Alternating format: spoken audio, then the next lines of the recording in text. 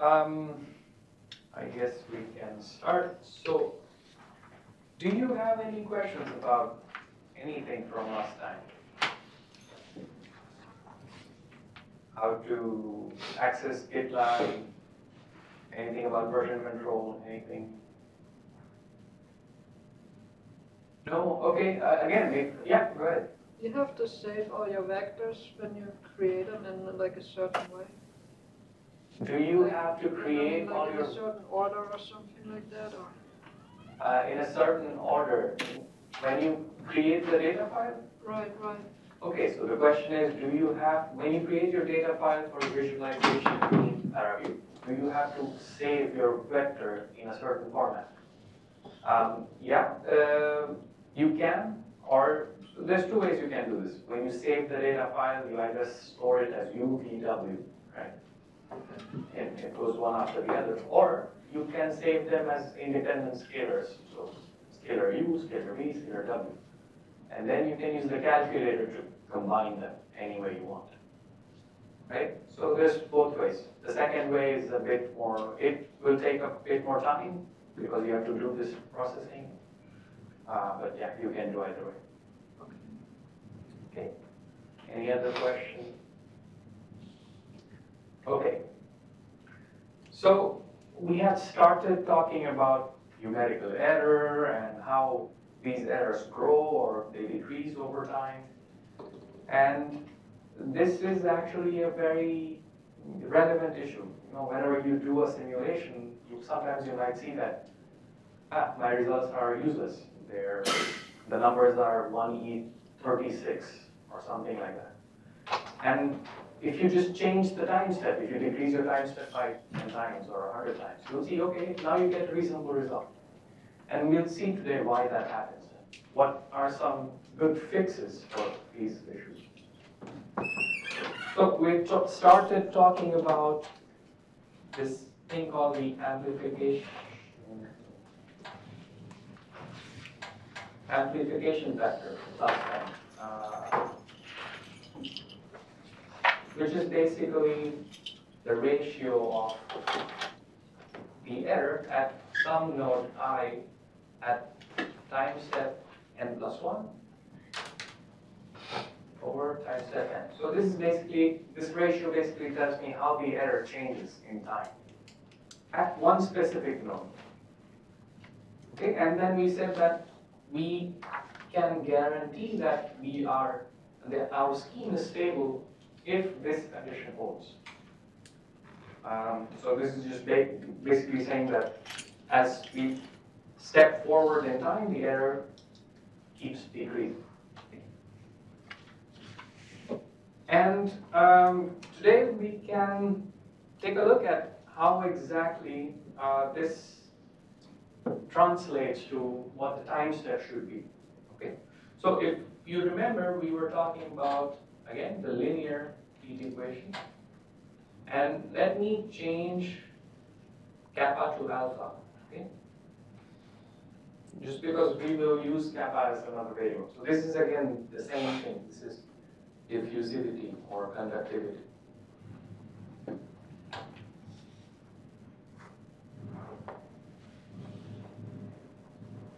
And we also know that a good way to discretize this is um, T I n plus 1 minus E I n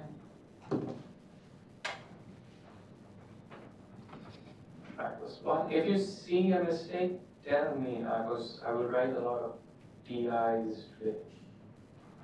Alright. So, that we already know, right? We've seen that in the previous two classes. If anything's unfamiliar, stop me. So, we also said that, okay, since this is an approximation, when we solve this, the answer will not be the exact solution to this continuous PDE, right? There will be some error. So what that means is uh, this epsilon is actually the true solution, true exact solution, minus the numerical solution. And that is one definition of error. We can have other definitions, but this is a very simple definition, which we will stick with uh, for today. So let me give this uh, a name, let's say this true exact solution is T, okay? And this numerical solution we will represent as T, let's say T what, T hat, T tilde, let me check. Um, let's call it, yeah, T tilde. Okay, so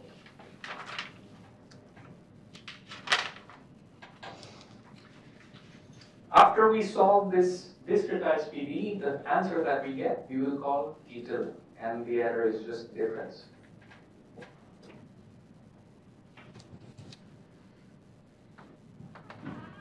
So,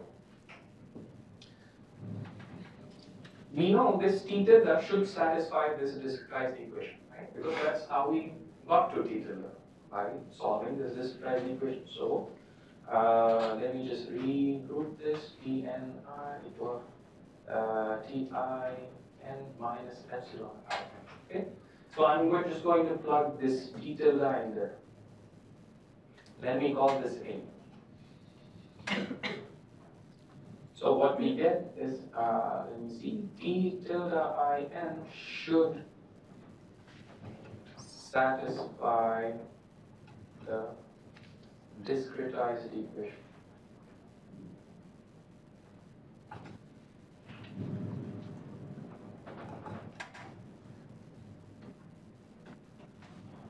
Alright, so let's make it satisfy the discretized equation. So this just becomes uh, t i tilde n plus 1 times t i tilde n over delta t equal alpha and blah blah blah. So that's just the whole thing. We replace all the t's with tildes. Now, if we just expand out this tilde, we get t i n plus 1 plus epsilon i n plus 1. Okay, that's just this first t tilde expanded minus t i n plus epsilon i n as the second t tilde expanded. Delta t equal alpha. And again we, we can expand this on the right hand side. Okay. There's nothing fancy happening here. And now we can start grouping this. So we have t i n plus 1 minus t i n over delta t plus epsilon i n minus 1 uh, plus 1 minus epsilon i n over delta t equal blah blah blah on the right hand side. So this we will call our B. So now you, you will notice that we basically have the t terms separate and the epsilon terms separate. And if we go back to our A, if we subtract this whole A from our B, the only thing we will left with, we will be left with is the epsilon terms. So let's do that.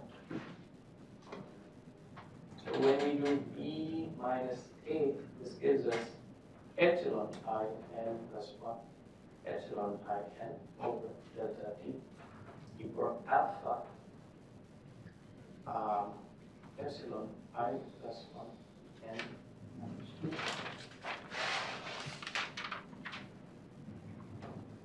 delta x squared. Okay, so now what does this tell you? What, what can you, you know, intuitively say? Okay, we, we, we derived this a minus b, but what does this mean? This means that epsilon follows this discretized equation. What can you tell me in terms of the continuous equation that epsilon should follow?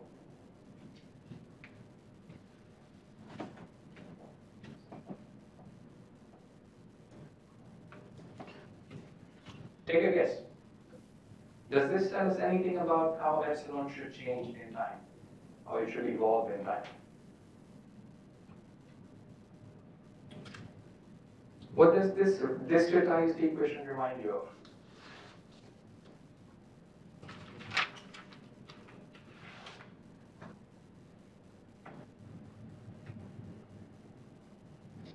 Come on.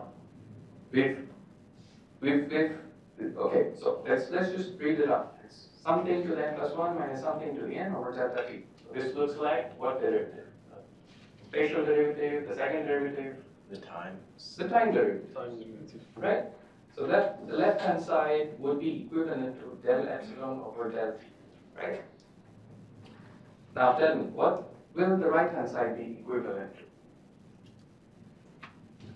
Central difference for discretization for a space. All right? Uh, It is the center difference discretization for a space derivative. Which derivative? Third derivative, fourth derivative? Second. Second Second derivative, right? So this is just alpha del 2 epsilon over del x squared. So, we haven't done anything fancy. Okay, We just did some addition and subtraction to realize that our error will follow the same law uh, that the original PDE forms, right? And this is this is a this is a very nice, elegant solution, which you will not get all the time. If your PDE is nonlinear, or you define your epsilon to be square root of difference squared, then you might not get this clean answer. Okay. But uh, for, for us, this is this is a good thing. Now, um, do are you guys familiar with what a Fourier series is? Have you heard of the term before? Yeah? Okay, so you've heard of it. So what the Fourier series is basically any smooth function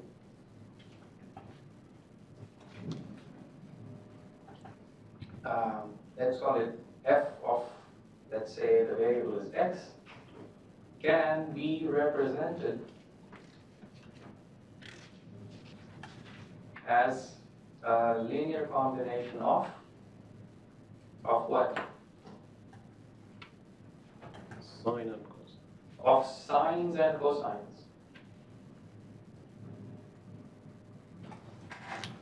So, yeah, it's, there's a very nice proof about it. um, But uh, if you have an infinite number of smooth sinusoids, you can basically combine them in a very specific way to recreate any smooth function. That's what the Fourier series us.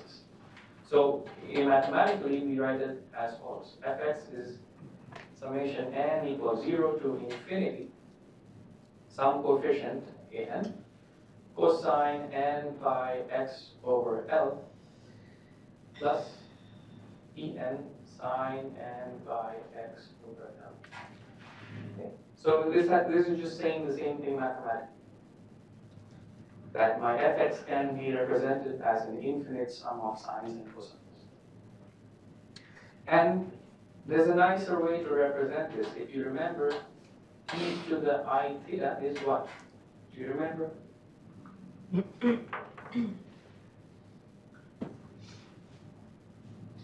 It's a cosine theta Yeah, plus i sine. exactly. So it's cosine theta plus i sine theta. Okay? So there is, we can just rewrite this long thing as f of x equal summation n equals 0 to infinity e to the i kappa x. So now this kappa is called the wave number. Physically, it just means it's the uh, frequency in space.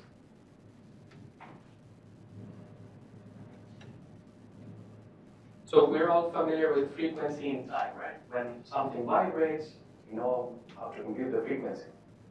When we listen to music, we have high frequency components and low frequency components. If we just think of this decomposition in space instead of time, this frequency is called wave number. Okay. All right. So any f of x can be represented as an infinite sum of i k. There's an n here, kappa n x. Okay? All right, so let's assume that our epsilon can do the same, right? It can be represented as an infinite sum of these exponentials. And we will take, instead of this infinite sum, we will just take this term, right? Which is me taking one particular mode, one particular, uh, yeah, it's called a mode.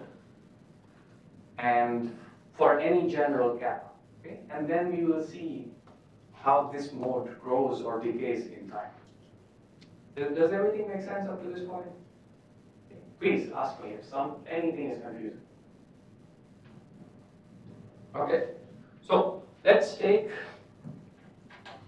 let's take a general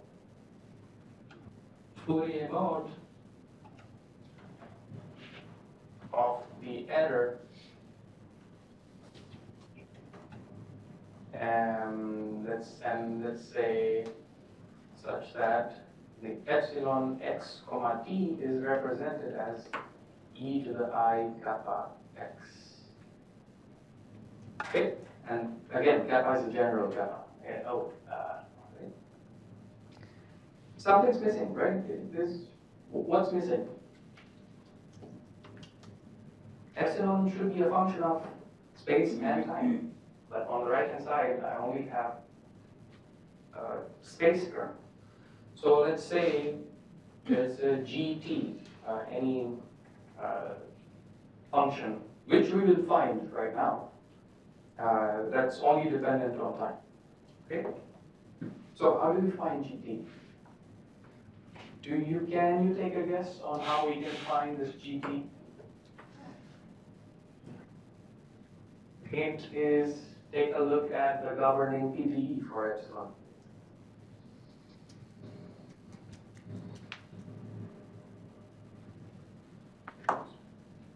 It's gonna be the left side of the equation. So Alex says it's going to be the left side. So wait, what do you mean? Uh, so we have okay. Let me rewrite the governing equation here. Del epsilon del t equals alpha del. Okay, so you're saying this should be what should be the left side? Uh, it, it just has the t term, so I thought. Ah, yeah, so, yeah, well, where you're going is correct. So there's a t term and an independent x term, right? So the derivative on the left side will only apply to the gt. Okay? This will be treated as a constant. Okay? So yeah, that, that's how we should find out what gt is. So this means that del of gt e i k x over del t is alpha del to gt e i k x or del x squared. Okay?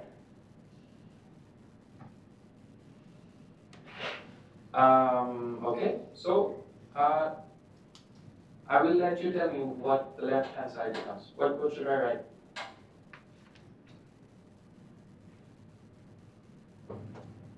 We're just differentiating this term. T dash G prime. G prime t times, T used to add IK. right, so the ikx is independent of t, so it's treated as a constant because we're doing a partial derivative equal.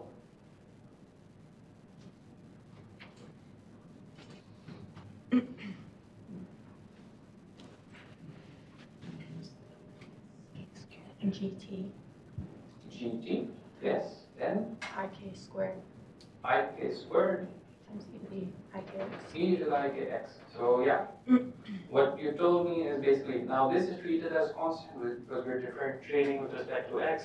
So I take it out and e to the ikx, the second derivative is just this thing, right? And i squared is minus one, so it's just minus alpha k squared e to the ikx gdt. And on the left hand side, we have this. Okay, so we will cancel this e to the ikx, and now we have g prime t over gt equal a constant. Okay, and we know how to integrate this, right?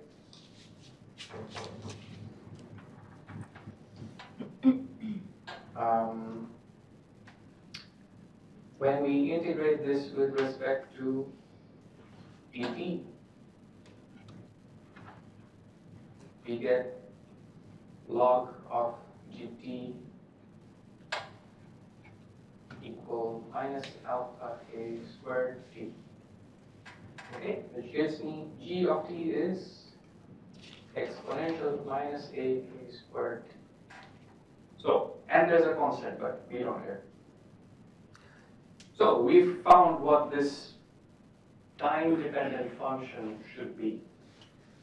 And what this is telling us that in time, the amplitude of the error should either grow in indefinitely or it should shrink. Uh, either grow or decrease exponentially, right? That's what it's telling us. So now we can write our full epsilon. We said it was gt e to the i k x, which now we know is minus a k squared t e to the i k x. Make sense? Okay. So this was a nice derivation on the side, but we, we st- we're still nowhere close to figuring out what stability means in terms of time stepping. All right, so for that, let us plug this expression back into our discretized PDE. So discretized PDE form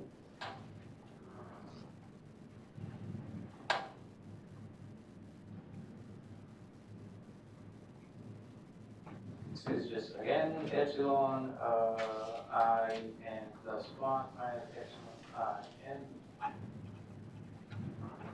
alpha epsilon i plus 1 n minus 2 epsilon i n plus epsilon i minus 1 n over delta x squared, right? So let's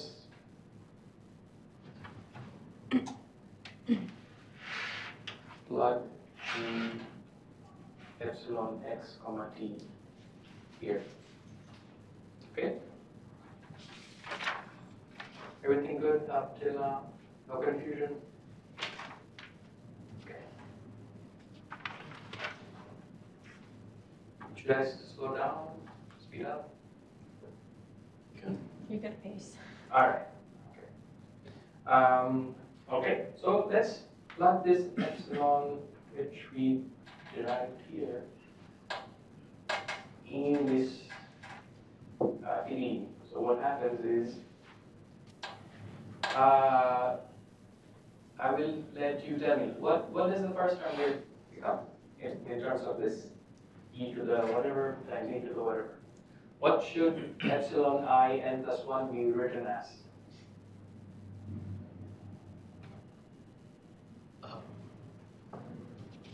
T should become T plus delta T. Yeah, t should become t plus delta t, because if time step is n plus 1, which means t is t plus delta t, all right? So let's see. This becomes e to the minus a k squared t plus delta t. And the other uh, s term does not change.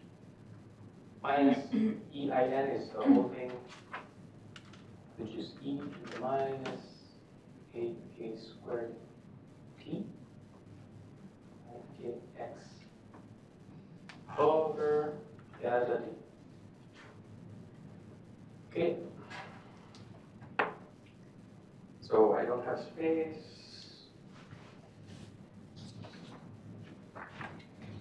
So this is the left hand side, left hand side. right?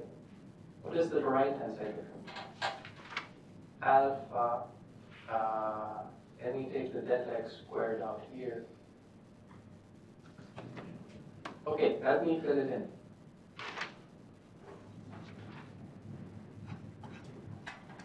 So, first term is epsilon e to the i plus 1 n. What will this be? So I'm trying to replace this with something that looks like this.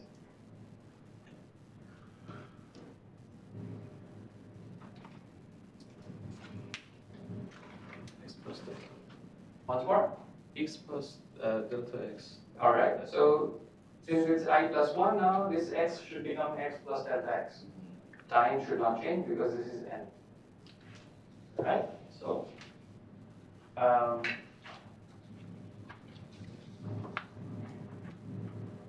You have a common factor, I think. Uh, e to the negative alpha is constant. So for all. yeah, uh, I can do that to make my life easier. See, all of these are e to the n, e to the n, e to the n, epsilon to the n. So this e to the minus aka squared t is com- common for all those three. That's, that's exactly what Amir said. So I can take that out to make my life a little easier, minus alpha k squared t.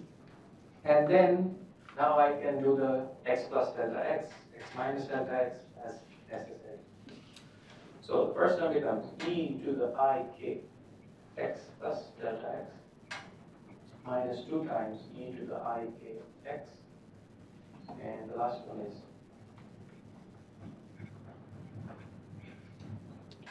So that's the right hand side. Okay? This, this term expanded out. Mm-hmm. All right, so now there's more common terms here, right? This is an IKX, IKX, IKX, and all three terms. I can take that out as well. And I can do the same on the left hand side. So let me clean out everything a bit. So this becomes e to the minus a k squared t times e to the i k x um, over delta t. And inside we're left with e to the minus a k squared delta t minus 1. This is the left hand side, right? Can you move it up a little bit? Oh, yeah. Uh, yeah.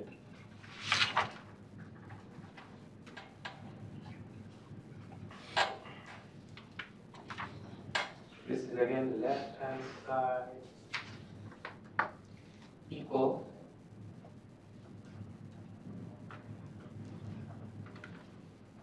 alpha over delta x squared.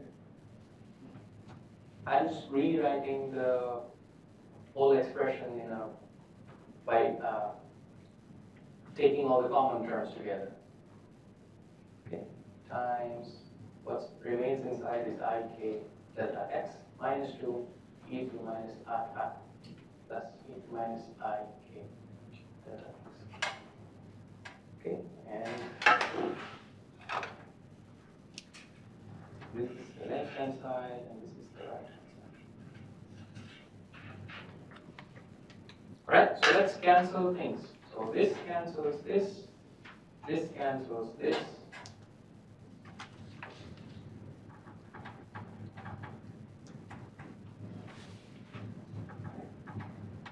So what I have now is e minus a k squared delta, delta t minus 1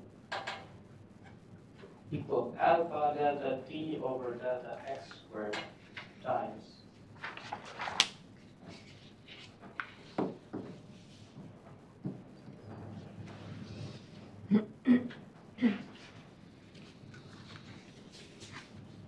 Okay, so now, fine, we have this sort of laborious expression, what should we do with it? How, how do we go from here to our stability criteria? So again, what was the stability criteria? It was just epsilon i n plus 1 over epsilon i n modulus should be less than 1, right? What, what does this imply in terms of e to the i's?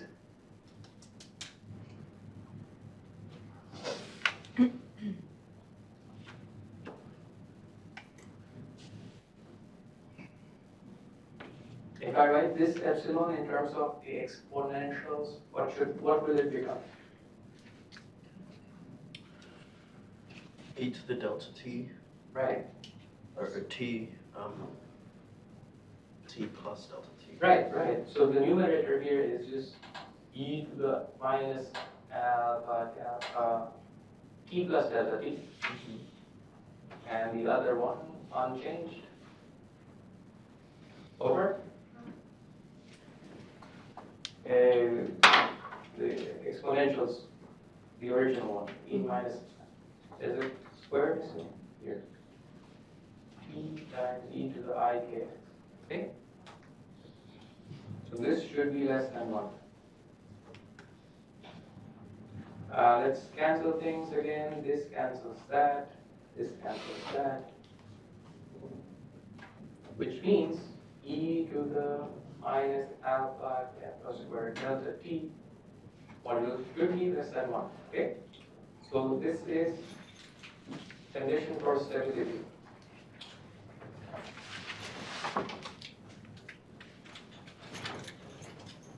All right, so let's see. Now, we have this equation.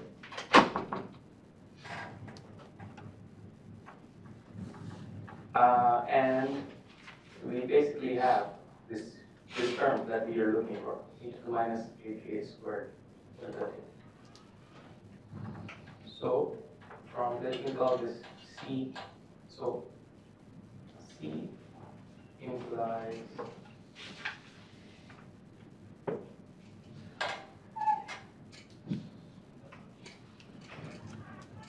uh, 1 uh, plus alpha delta t over delta x squared and this whole thing inside e to the i k delta x minus 2 plus e minus i k should be less than 1. Again, this is a long procedure, but we're not doing anything strange. We're just doing some algebra step by step. So it should be less than 1 for stable solution. Okay? Again, everything makes sense up to now? Okay, now we are very close. We are on about two steps away from getting our condition on delta t.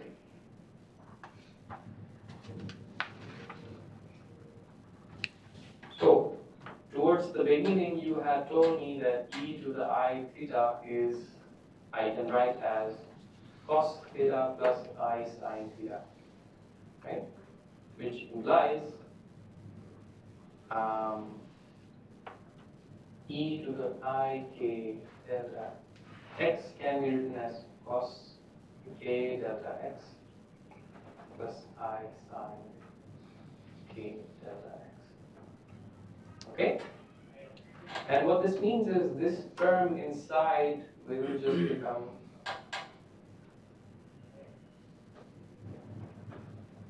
minus 2 plus minus i k delta x becomes uh, this is cosine, that will become a minus sign, so we will have 2 cosine k delta x minus 2.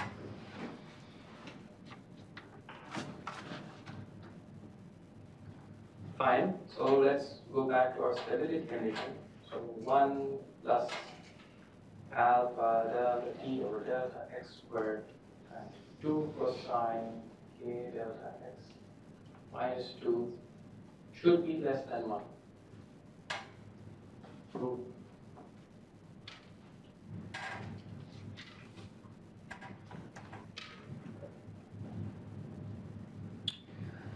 Okay, so um, there's a short way of doing this and there's a long way of doing this. Short way, we just uh, remember that recall 1 minus cos theta is just um, 2 sine squared theta over 2, right? Which implies we have inside 1 minus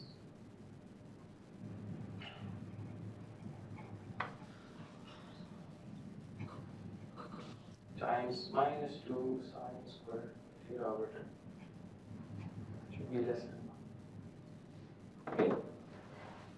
Okay, so we are at the answer now, which is two alpha delta t for delta x squared sine squared theta over two should be less than one. Okay. So everything makes sense? So tell me, now, when is this condition satisfied? What do you know about sines and cosines? Sine squared theta two can be only between, yeah, this term can only be between zero and one. This is uh, between zero and one, okay? Maximum it can be is one. And we're saying that one minus this term should be less than one, right? This cannot be negative. Neither of these can be negative. This cannot be negative either. Okay, this is greater than zero because alpha is diffusivity. Physically, diffusivity should not be negative. Delta t, we're stepping forward in time. Delta x, again, negative delta x doesn't make sense. So both these terms are positive, and we know this is less than one. So what's the condition on this thing? Between zero and one? Yeah, uh, uh, it should be Theta is k delta x, right? Oh, yeah, yeah, um, yeah, yes, um, all right.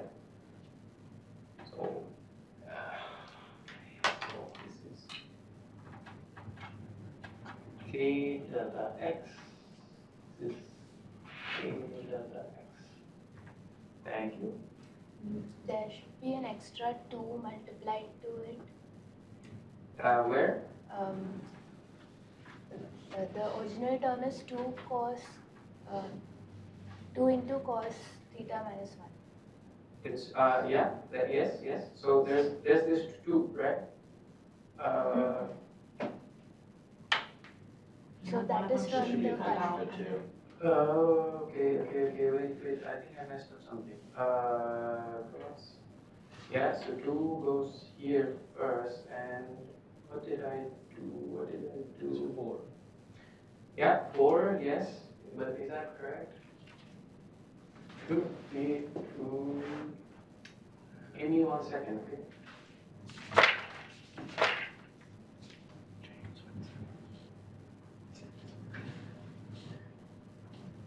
Two times two times two.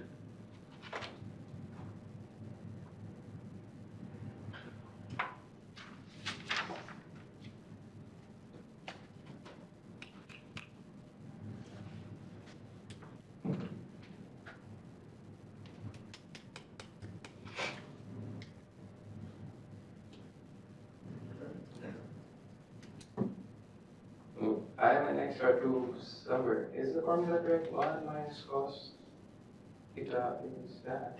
Yes, yes.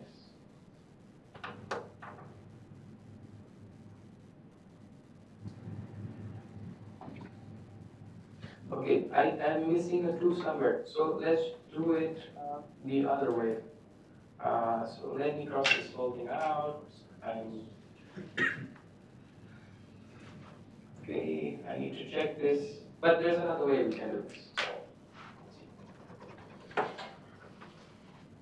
You can, it's what you were saying, it's one plus two alpha delta t over delta x. And inside what remains is plus k delta x minus one. Should be less than one.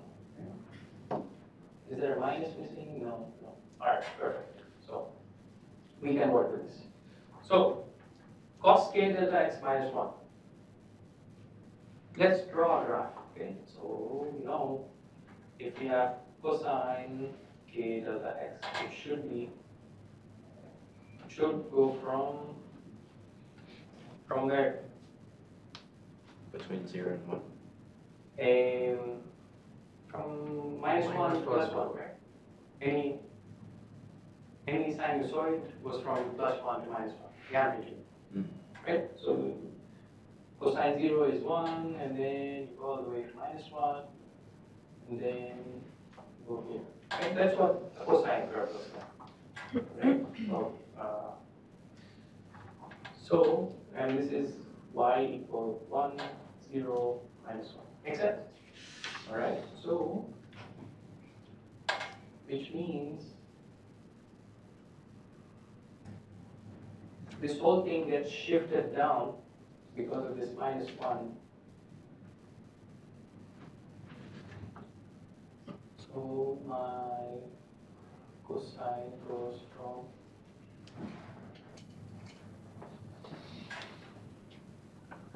this is for cosine k delta x minus 1. Okay. So maximum here is 0. Minimum here is minus 2.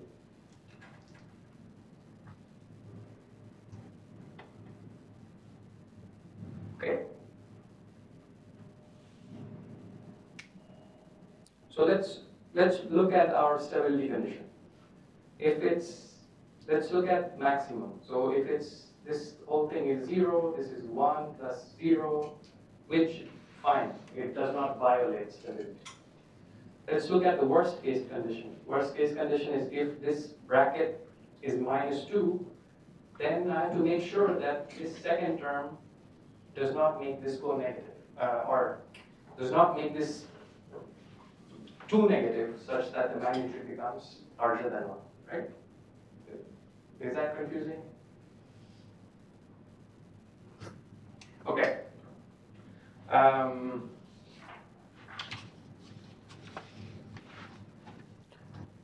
so for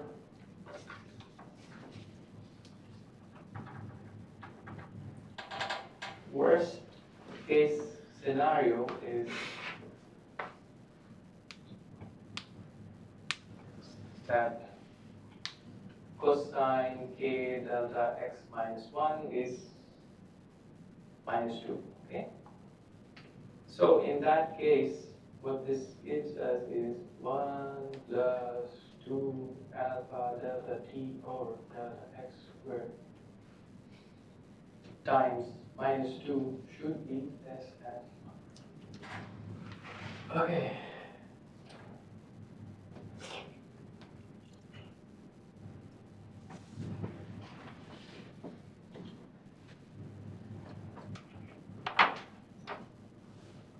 and we can tell, we can say that this condition is satisfied if two alpha delta t over x squared is less than one. Does that make sense? Ah.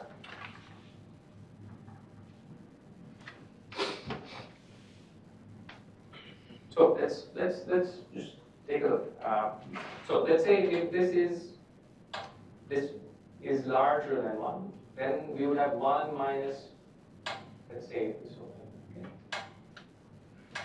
One minus two, one plus two times minus two would be three, right? That violates this condition. If this is smaller than one, let's say 0.5, we would have one plus 0.5 times minus two, which is zero, fine? That condition is satisfied. Let's say this is one, okay? If this is one, we have one minus two, which is one. So again, this is good. Does this make sense? Yeah, so for this stability condition to be satisfied, we need this uh, condition on alpha delta t over. So now we have our condition on delta t is delta x squared uh, over 2 alpha.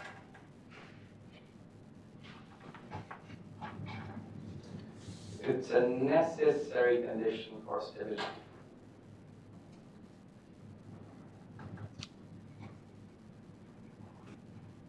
For stability of what? Any equation, Burgers' equation, Navier-Stokes equation?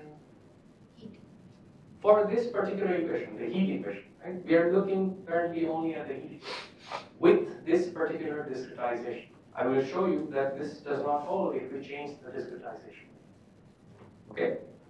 So with this very uh, simple discretization that uh, we have the time derivative and we take the standard difference for the second derivative, this condition should always hold, otherwise your solution will blow up. So, uh, this uh, depends, if you notice here, delta t depends on your delta x. So if you take much finer grid sizes, what happens to your delta t? So instead of taking 10 points on the grid, you take 100 points. What should you do with your delta t? Decrease it. Yeah, you would need to decrease delta t by 100 times, right? You see, it's a delta x squared. So this is a very restrictive condition. It's especially because it's a delta x squared. I can, I would, I might want to work on finer grids, but then the time steps I would have to take would be very, very small. So this is a drawback of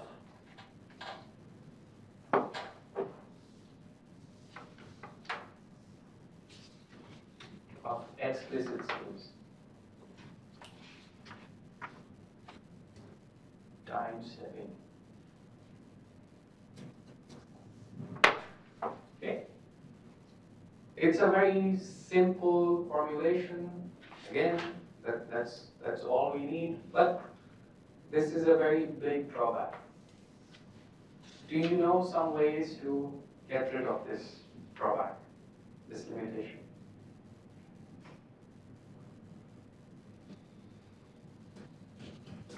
Have you heard of something called implicit scheme? Okay, so most of you have not, which is awesome because we will talk about that now. One solution is use implicit time stepping.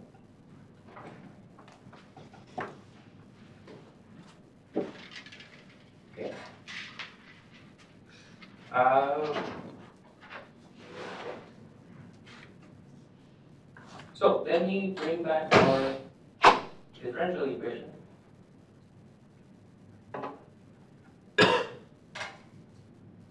And disregard the left hand side as we have always done. But now on the right hand side, instead of using epsilon at time level n, I can use epsilon at time level n plus 1. So I would write, there's an alpha here.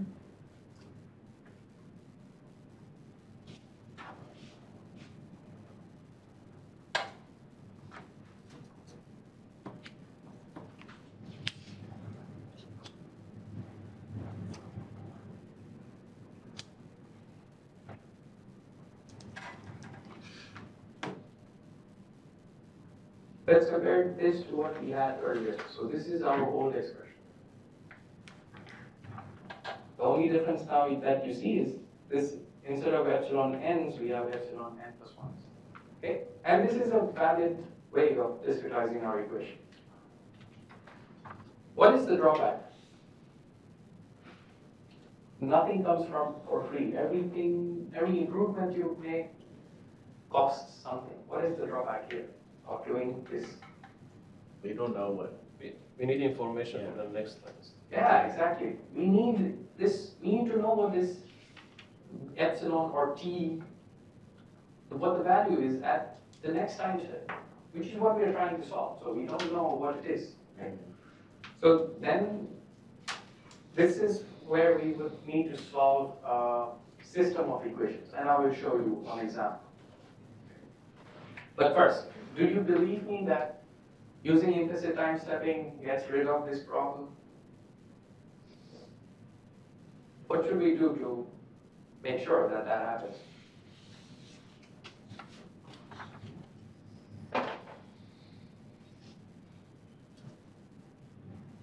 How do you figure out the stability of a discretized equation? we can go back through the same. Yeah, we, we do what we just did, right? So, by the way, this is called uh, von Neumann stability analysis. This is the simplest way of analyzing the stability of PDEs. So let's repeat our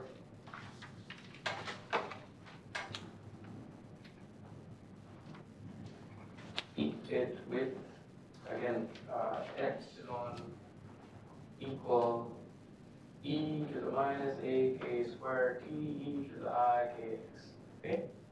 And this time we will go a bit faster because we've already seen the individual steps. Okay, so, and uh, we're going through this derivation because once you know that where all these conditions come from, then you never have to do this again. you know. You, you can always remember, ah, okay, I, I need to satisfy this condition for this reason. So now we will go much faster and n plus 1 minus n. So this will become the same as before, 8k squared t times e i k x. And inside, what do we have?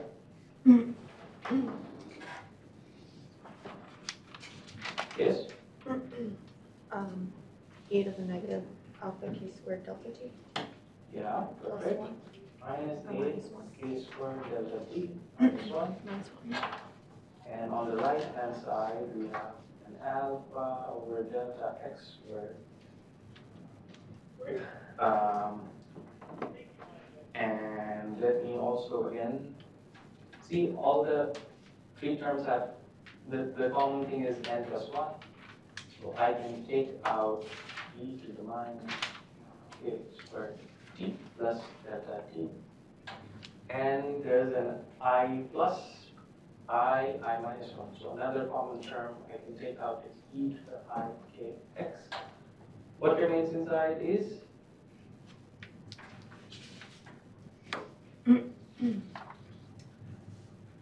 e to the i k x delta, or delta x e to the i k delta x minus two minus 2. plus e to the negative i k delta x. Yeah, so again, we haven't done anything fancy. We've just expanded out this in terms of the, the analytical expression. Okay, so.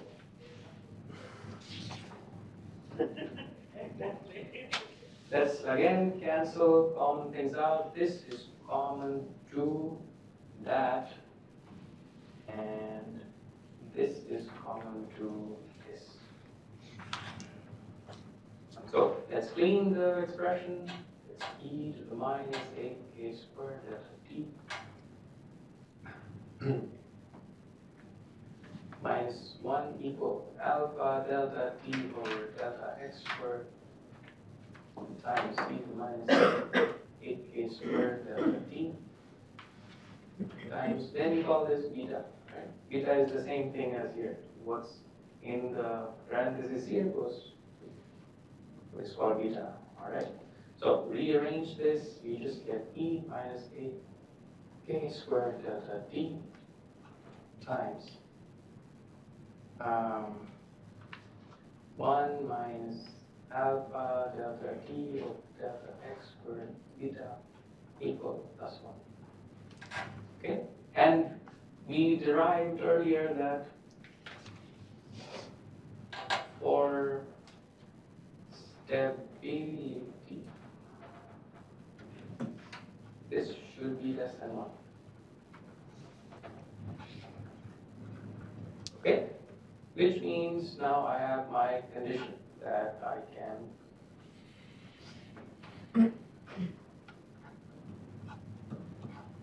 Okay.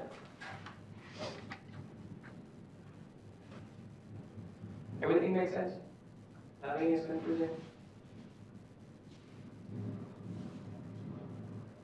Okay, so this now is the stability criterion for when we take the right hand side at n plus 1, not at n.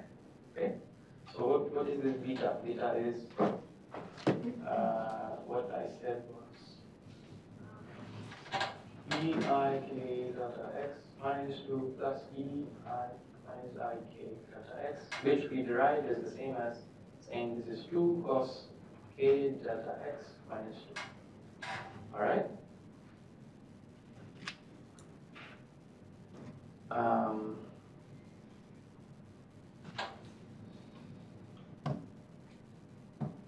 okay. So now tell me, can you tell me what the stability condition simplifies to?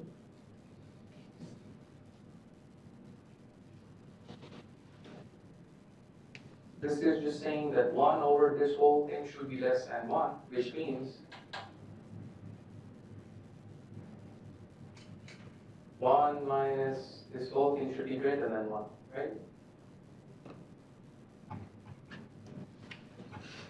Should be greater than one.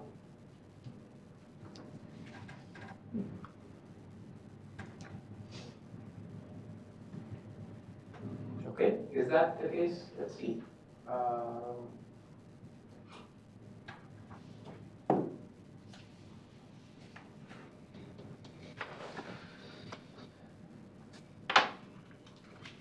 Let me just make sure I didn't mess up again. Nope, I did not mess up, perfect. Ah, so, now, let's see, let's draw the graph for this beta again. So this is uh, between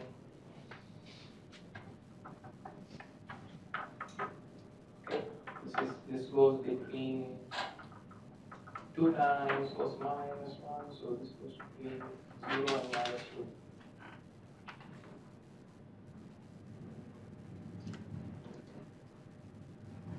This is two cos k delta x or minus two, okay? If you just take out the two, cosine k delta x minus one would be, go from zero to minus one, and then you multiply the whole thing by two, so the whole thing becomes zero to minus two. So, is this condition satisfied? As long as beta isn't zero. As long as beta is less than zero, this condition is always satisfied, right? And we just drew the graph for beta. It is The, the graph, the graph drawn is for cos k delta x minus 1. uh, no, there's a, uh, ah, so, um, yeah, yeah, you're right. So this should be minus two and minus four, right? Yes? Yeah. Yeah, okay. So yeah, uh, if you, if you draw cos k delta x minus one, it will go from zero to minus two. And then we multiply the whole thing, it goes from zero to minus two. Okay, thank you. So, our graph says that it's always negative, and we know this thing inside should be positive, and beta is always negative, so this condition is always satisfied, no matter what delta t you pick. No matter what delta t you pick.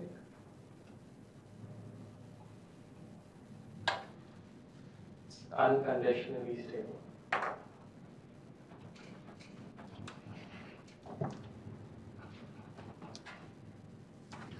Okay, so just by changing one very small thing, we have gone from having all these stability issues and taking very small time steps to being unconditionally stable. No matter what delta t we pick, our solution will converge to an answer. Can we pick delta t to be whatever we want? 100 or 10 instead of 0.1?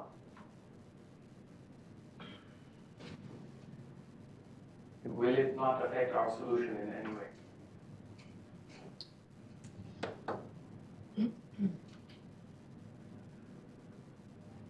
It'll, it'll affect the solution, but not the stability. Exactly. We will get a stable solution, but it might not be an accurate solution. You always have to take care that you sort of uh, are able to capture the physical time scales with this delta t that you pick. For instance, a vortex rotation time period is something. You want to make sure that your the delta t you pick can capture that. Okay? So, Stability is not the same as accuracy. All right, so this is a very uh, nice thing to have in the scheme, but let's go back and look at the problems it causes. And, and you, you were telling me that, yeah, now we have things that we don't know on the right-hand side, right? This is the stable scheme. Oh, this is the stable scheme now, but but let's see how you solve this, again with a simple example that used a few days ago. So if you remember, we had this rod which we discretized into five points. I going from one, two, three, four, five. We said, is there a question? No. Can you see what I'm writing? Yeah. So we said that this goes from 100 degrees centigrade to 20, and x is 0, 0.0, 0 0.25, 0 0.5, 0 0.75, and 1. Okay? And then temperature, initial temperature, T0 is 100, eh, 80, 60, 40, and 20. All right? Okay, so um, uh, we, we did all of this for epsilon, but the same thing applies for t. Uh, we can have t i n plus 1 minus t i n. t i plus 1 n plus 1 minus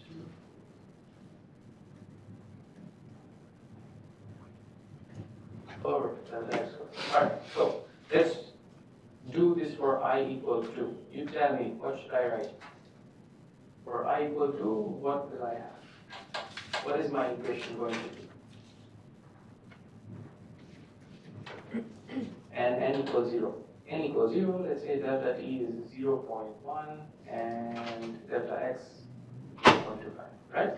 So let's write out for i equal to what this discretized equation looks like.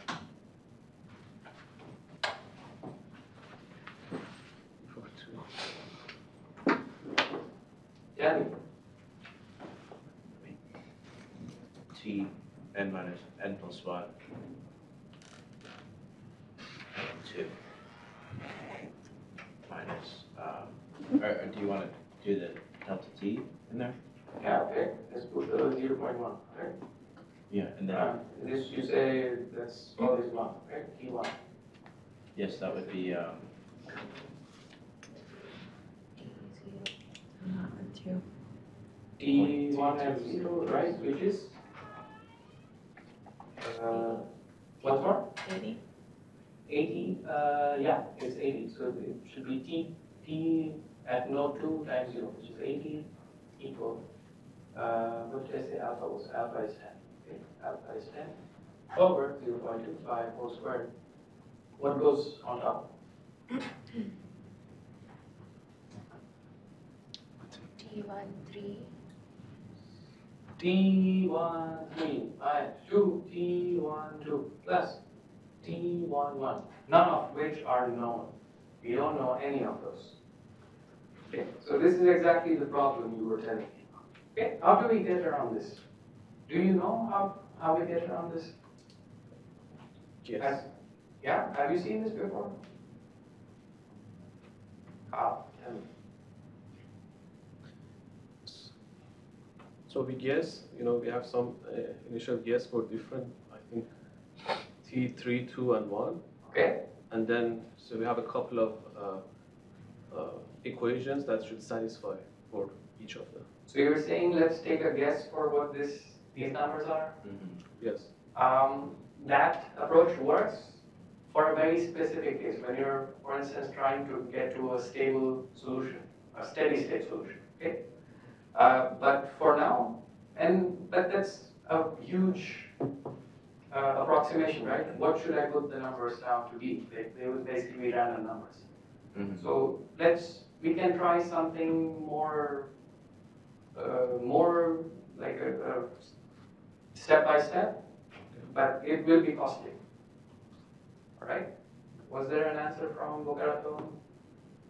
Uh, take the unknowns to the left hand side and write the equation for every uh, node. Right. So, it- And yeah, as a system of linear equations, and then you can solve the system as a whole. yeah, If you are if you know the boundary conditions. okay. So Yeah. the answer is uh, everything that's unknown in this equation goes to one side, everything that's known goes to the other side, and then we will basically have a simultaneous set of equations that we can solve. All right, let's do that. So uh, let me not write any of the numbers, let me stick to variables. So for, um, yeah, i equal to, you basically have done this. Um, okay, let me first introduce some, one new variable to make my life a little easier.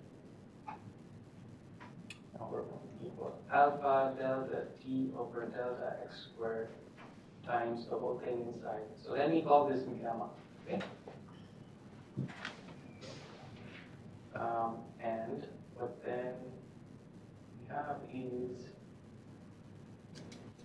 um, t i n plus 1 minus gamma t i plus 1 n plus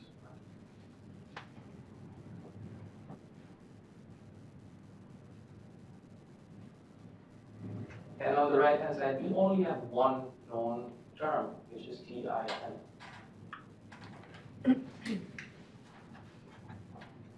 Okay, I just re rewrote it, the, the original discretized equation in this form here, because it, it will just be easier to write the equations now. So let's see, for i equal two, we get t2 n plus 1 minus gamma t uh, 3 n plus 1, yes, minus 2 t 2 n plus 1. And we're doing this for any general t1 n plus 1 equal T n, right? What will I get for 3? Uh, easy answer, but tell me nonetheless. N 1, 3 minus gamma T4 minus 2 to the 3 N plus 1 plus T 2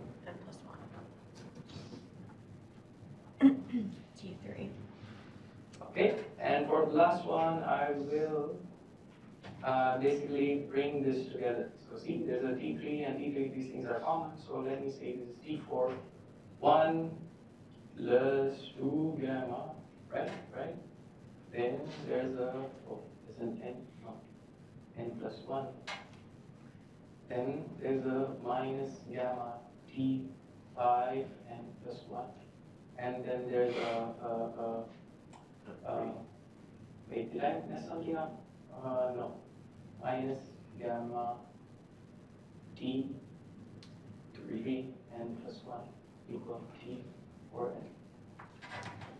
Is that correct? Yes, yeah. So I basically took this ti and ti and combined them. So we just have 1 minus 1 plus 2 gamma here, right?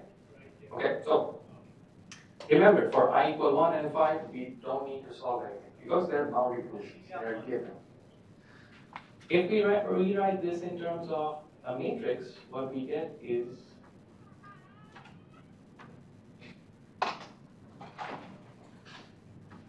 so we have we have a T1, T2, T3, T4, T5. So all of these are present here. T1 n plus 1, T2 n plus 1, T2 n plus 1, T4 n plus 1, T5 n plus 1. Okay.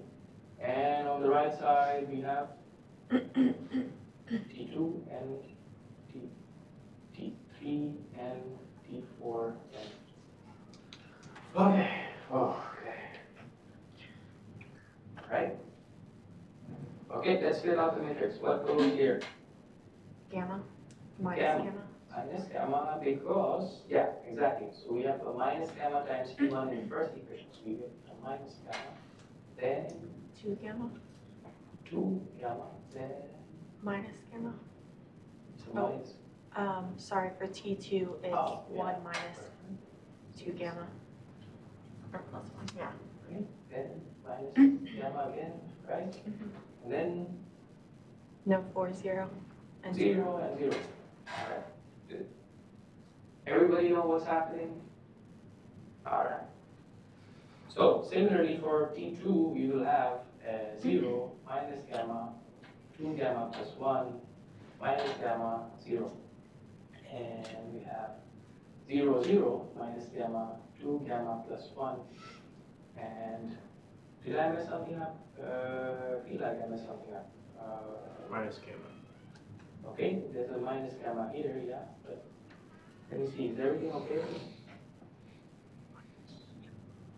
Oh, yeah, yeah, that's fine. So there's three rows and because we have, uh, Right. uh, okay, so yeah, we have, this is a, a three by five matrix. This is a five by one matrix, so we get a three by one. matrix. Yeah, all right, perfect, perfect. So. Can, can I solve this system now? There's, there's one more thing that's, we, we can do to this system.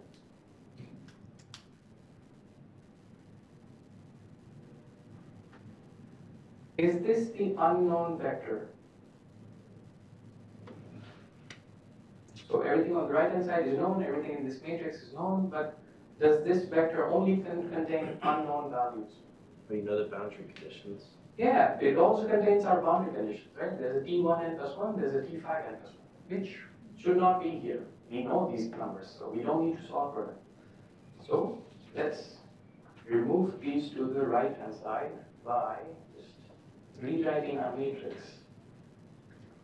So our unknowns are T2 n plus 1, T3 n plus 1, T4 plus 1. And on the right hand side, we had T2n, T3n, T4n. Okay, so let's see. What was known? So this T1 and plus 1 times minus gamma can go on the right side. This becomes plus gamma T1 and plus 1. This times this stays here. So we have a 2 gamma plus 1. This times this stays here, so we have a minus gamma. This times this stays, we have zero. Okay, help me fill out the second row. So, uh, this is multiplied by this whole thing, so let's see. Uh, that times two, that times three, that times four, and zero times the others, so it's plus zero plus zero. Okay. Oh, I filled it out, I, okay. Let me, you can help me fill out the third row. Gamma plus one. All right, and help me fill out the third row, what, what should I write here? Zero. Yeah, so it's, uh, i- i- it's zero times that, which is zero. And, what, Minus gamma. uh, yeah, minus gamma times that, when it goes to the right hand side, it becomes plus gamma times d five. Right? So everything here is still known, and we have this unknown vector. Uh, what goes here? Zero. That's zero times T2, minus gamma times T3, and the last one is this times T4. The last one went on the other side, gamma times T5 is now over here. Okay, so now we have A times B equals C. This is known, this is known, this is unknown. How do you solve this? Ah. Okay. This is the t's we are looking for, right? What is t at node 2, 3, and 4 at the next times? Okay, that's my vector v. Okay, so quick way of solving this? Inverse. Inverse. Matrix inverse. A equal A inverse times C. Is this a good way to do this? Yes. This is a good way to do this for this particular problem, where we have a three by three matrix. We know how to compute the inverse exactly. Okay, there's a formula. Imagine instead of discretizing with five points, I had it discretized with a hundred points. The size of this matrix would be 98 by 98. Okay? And doing a straight inverse, uh, do you know what the hmm, cost of matrix inversion is? How it scales? Cost of matrix inversion. If you just do it uh, without using any special tricks, is order n cubed. Okay? n is the number of elements on each side if it's a square matrix. let's say a 10 by 10 matrix takes me one second to invert. How much will a 100 by 100 take?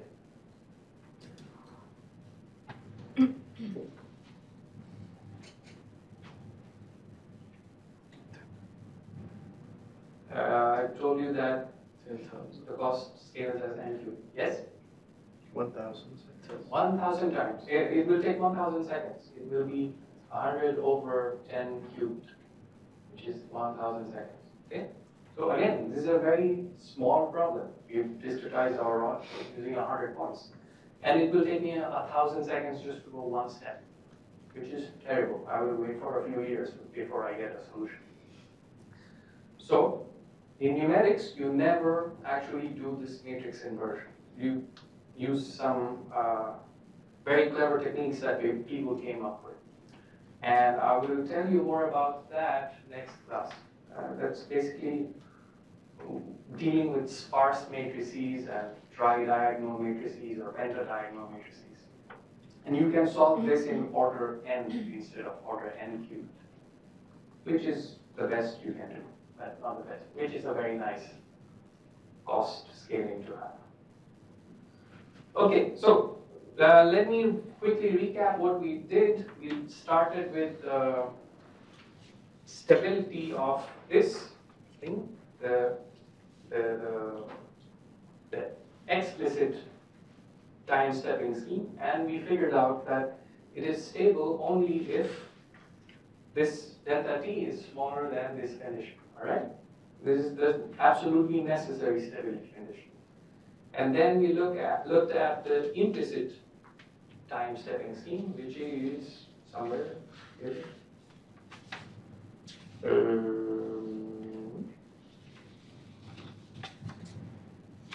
Okay, I've lost it in my paper somewhere. So with the implicit time stepping scheme, what basically happened was everything on the right side now is at n plus 1. And we showed that this is unconditionally stable. No matter what delta t you take, you will get a solution. Okay?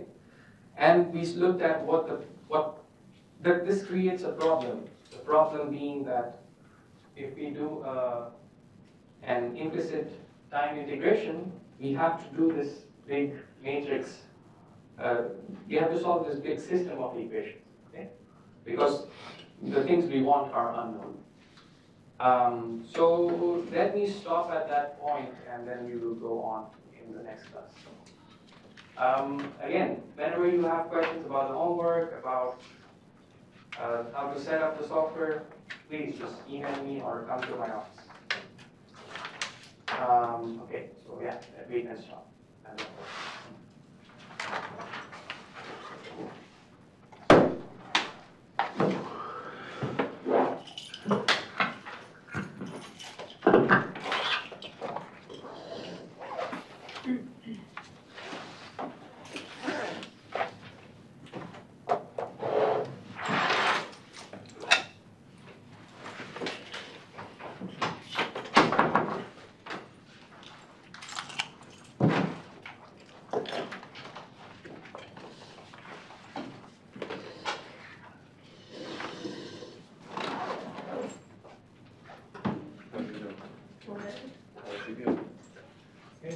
Well, Do you know if this stuff is starting? again. Oh, yeah, it was a great time. I would put it just a whole nother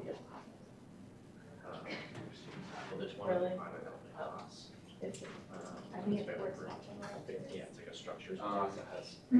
Uh, One, uh, So so they first, use like an existing software? Went over material that was gonna be on it. I think, So um, he's posting it today. it's the heat transfer stuff we have Okay. on. Awesome. Got a couple of. Thanks for the heads up. Yeah, I was gonna watch the lecture now, but I'll wait then. Don't- I'll work on it. Relax. Yeah. Or you, um, Can you scan me the so- I did Yeah. yesterday, uh, Yeah, once you know.